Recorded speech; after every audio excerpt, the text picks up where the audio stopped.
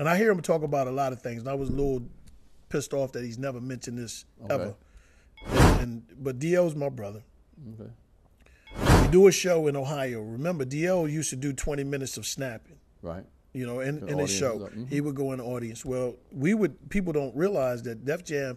A lot of these shows was being done for a lot of these hood niggas, and they was putting up money. Sure. Drug They dealers. drug Hell dealers. Yeah. There's a lot of drug dealers. You thank you, son. Thank you. Thank you. all. No question. So DL went in on this dude, and the dude wasn't having it.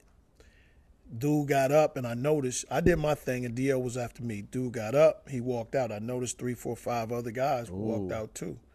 Um, now DL was on stage. He comes back, and they getting they talking about shooting DL on stage What? On my children How you know that? because I was off stage watching. Oh, listen, watching or here, here. and so this this particular guy who who was running this.